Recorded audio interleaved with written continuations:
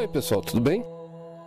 Há muito tempo atrás havia um rishi muito sábio chamado Udalaka, famoso por seu conhecimento dos Vedas e das Escrituras. Muitos alunos aprenderam com ele. E desses discípulos foi Karoda que agradou muito seu guru com muita devoção. Muito impressionado com o Dalaka, e após Karoda terminar seus estudos, ele permitiu que sua filha se casasse com ele. Ela se chamava Sujata. Após o casamento, o casal continuou a residir no eremitério de Udalaka, onde Karoda ajudou seu sogro no ensino. No devido tempo, Sujata ficou grávida. Ela estava no lugar onde se sentava perto de seu pai e marido quando eles ensinavam. Seu filho ainda não tinha nascido. Ele conseguiu alcançar o domínio sobre os Vedas somente ouvindo seu avô expô-los. Karoda não era igualmente habilidoso como seu mestre. No entanto, ele cometeu vários erros ao recitar as escrituras. Incapaz de suportar os erros, a criança, dentro do ventre, começou a corrigi-lo. Humilhado diante de seus discípulos, Karoda amaldiçoou seu filho, dizendo: Você insultou seu pai. Você vai nascer com oito curvas em seu corpo. Uma vez houve uma competição entre eruditos e sábios, ali naquele reino. O sábio Corrada com outros também foram para esse Shastra Art. Um Brahman de uma cidade chamada Varunloka havia desafiado o rei Janaka, dizendo: Existe alguém no seu reino capaz de derrotá-lo? Senão ele levará as pessoas instruídas a derrotar lá na sua terra. Todos que aceitaram o desafio dos Brahmanas foram derrotados, então. Corrada, que se considerava muito correto, aceitou o desafio. Um sacerdote questionou os mesmos erros que o bebê dentro do útero pediu para seu pai, o sábio que ele tinha que corrigir. E ele não quis ouvir. Eventualmente, acabou sendo derrotado. Depois de alguns dias, o bebê iluminado nasceu. O rosto do bebê era mais bonito que a lua, e os raios pacíficos tomavam um banho nos belos olhos do bebê. Mas devido à maldição de seu corpo, o bebê era deformado em oito partes. Portanto, todo mundo conhecia aquela criança como Astavaka. Quando Astavaka chegou aos 12 anos, ele ficou sabendo que seu pai, há muito tempo atrás, pegou e tentou participar de um Shastra Arta, acabou ficando em cativeiro junto com outros sacerdotes que perderam também esse debate. Astavaka decidiu, com 12 anos, que iria à corte de Maharaja Janaka, ouvia sobre as discussões filosóficas que ocorreram naquela assembleia. O rei Janaka era muito famoso por seu conhecimento dos Vedas. Sua corte também era muito conhecida por muitos eruditos e pessoas autorrealizadas e ministros que viviam lá. Como o corpo de Astavaka estava muito deformado, mesmo com a ajuda de uma bengala, levou 30 dias para ele fazer a viagem até a corte do rei Janaka. Uma jornada que levaria um dia. Tão devagar que ele andou, com tanta dificuldade, mas ele finalmente chegou ao fim a sua viagem. Quando Astavaka Muni entrou lá naquele tribunal, todos olharam para ele e começaram a rir.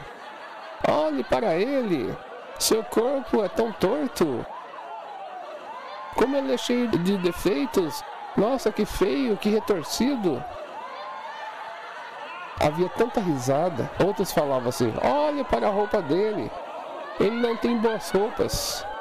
Basta ver como seus pés são torcidos. Assim como o resto do seu corpo, ele é todo torcido. Todo mundo caiu em risadas ali. Astavaka esperou ter silêncio, então começou a rir tão forte que todos ficaram chocados com a intensidade do sorriso. Ele ficou rindo mais alto que qualquer pessoa que estava naquela assembleia. Janaka se aproximou de Astavaka e perguntou: Quem é você? Por que você está rindo tão intensamente? Ele respondeu: Quem sou eu? E por que, que eu estou rindo? Na verdade, eu não estou rindo, estou chorando. Eu vim de tão longe em uma condição corporal tão lamentável, todo movimento que eu faço me dá grande dor. No entanto, eu vim porque ouvi que sua corte tem os maiores conselheiros que falam sobre assuntos filosóficos tão elevados. Eu vim com a esperança de ouvir as discussões deles, porque me disseram que eles são muito instruídos. Mas, no entanto, eu fiquei muito desapontado. Eu estava esperando encontrar grandes almas, atmaramas, mas estou vendo que minha viagem foi inútil, porque eu só encontrei sapateiros aqui na sua assembleia. Aí o rei falou assim: Sapateiros?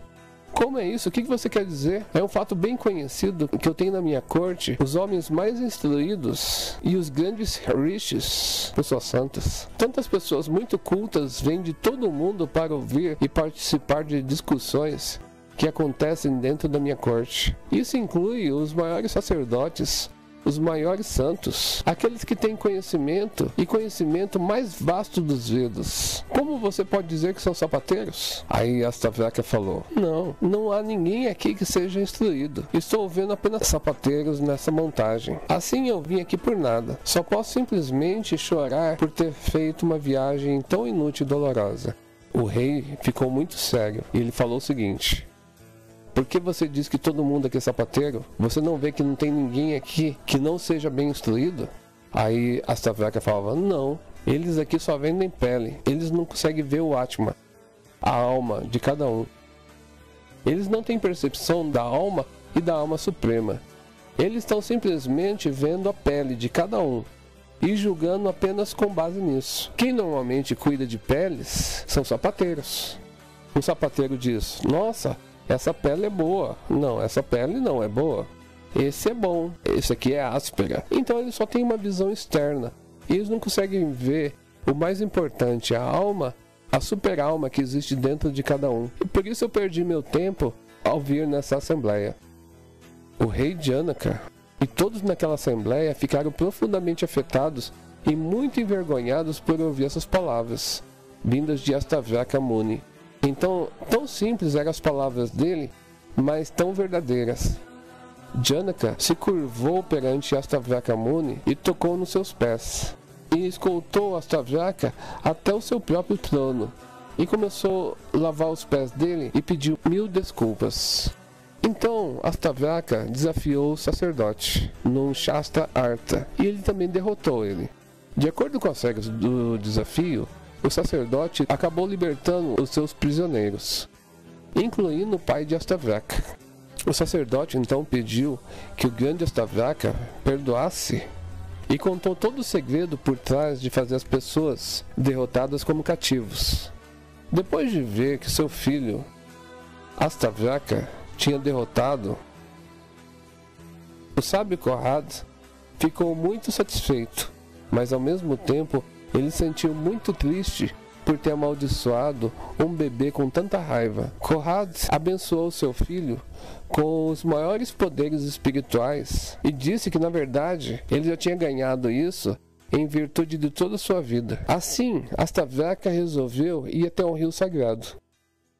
Ele pegou e tomou banho no rio sagrado e mergulhou completamente. Ele recuperou a sua forma original de um belo rapaz. E por isso, Astavaka Muni é uma pessoa tão homenageada em toda a história da Índia.